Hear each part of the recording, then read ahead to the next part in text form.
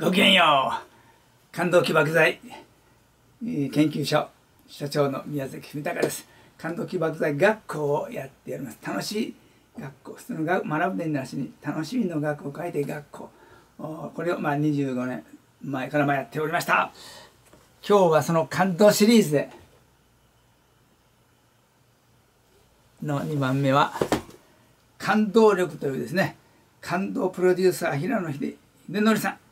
の本から言ってみたいと思うんですが、まあ、感動に関しての研究をですね平野さんはプロデューサーですから、まあ、いろんな角度から感動というものを捉えられています。そして本もたくさん書かれてますので、まあ、非常にあの感動に関しては詳しく書かれてますし面白いことも書かれてますし、まあ、理論的にもいろんなことを書かれてますがその中の、うんまあ、これが最初に書かれた本がですねこれが2004年8月10日になってますね。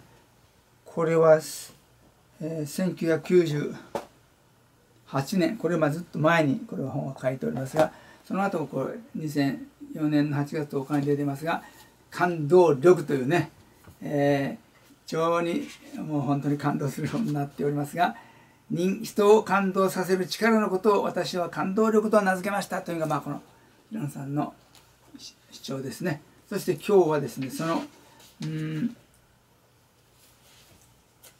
普通は第1章とか第1幕とか書いてあるんですがこれはエピソード1エピソード何てことずつ書いてるね。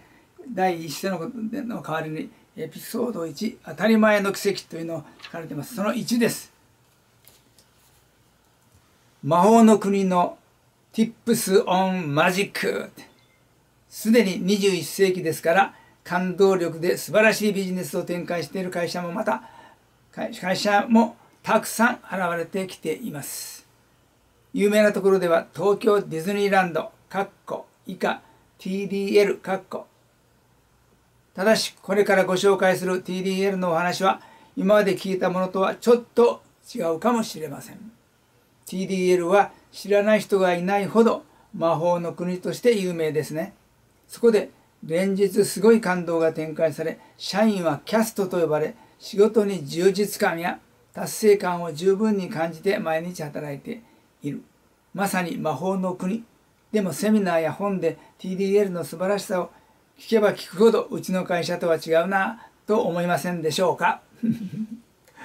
まあこれディズニーランドのことはすっごくあの本も書かれたりえー、講演もあったり、まあ、いろんなことがすっごく溢れましたね。まあ、その時なんでしょうねこの書かれたのは。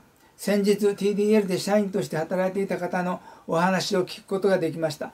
とてもとても興味深く貴重なお話でした。ディズニーの幹部の方やアルバイトの方のお話は本などで読んで知っていたのですが社員の方の話は初めてでした。その方は TDL のことをこんな風にお話ししてくれました。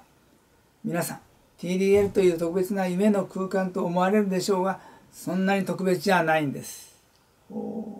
社員として働いていると普通に疲れるし会社を途中で辞める人もいるし残業も半端じゃないし。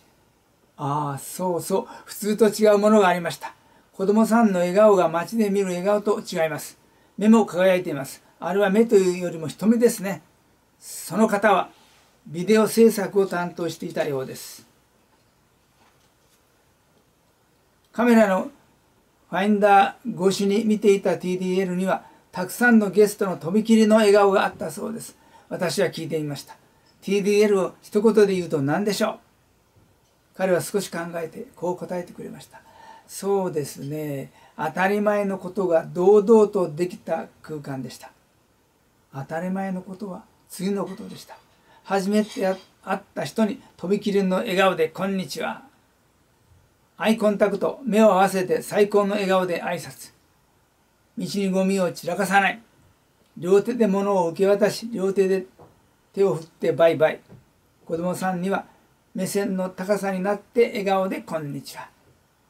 今、街中でこれをやられたらどうなんでしょうか。子供さんに目線を合わせて笑顔でこんにちはと言ったら危ない人。TDL とはとても素敵な当たり前のことが堂々とできる空間だったそうです。彼は言いました。だから TDL にはゲストだけでなくキャストも集まるんです。現代の夢の国とはこんな場所でした。当たり前のことを堂々とやる。込み出しです。彼が働いていた当時サンスクレレターサンスクサンサンクスレターか。サンクスレターかっこ感謝の頼り。で一番多かったのは何だと思いますか？感謝されたのは何だと思いますか？何なんでしょうか？なんと落とし物を届けてくれたお礼だそうです。どんな小さなものでも届けることが徹底されていたそうです。本人もお客さんとして行った時にコンタクトレンズを落としてしまったらキャストが1時間探してくれて見つかったそうです。これも夢の国では当たり前のこと。TDL に入ってくるアルバイトの人たちはその時点では魔法使いではなく普通の人なのですが1週間でキャストらしくなるのだそうです。なぜか。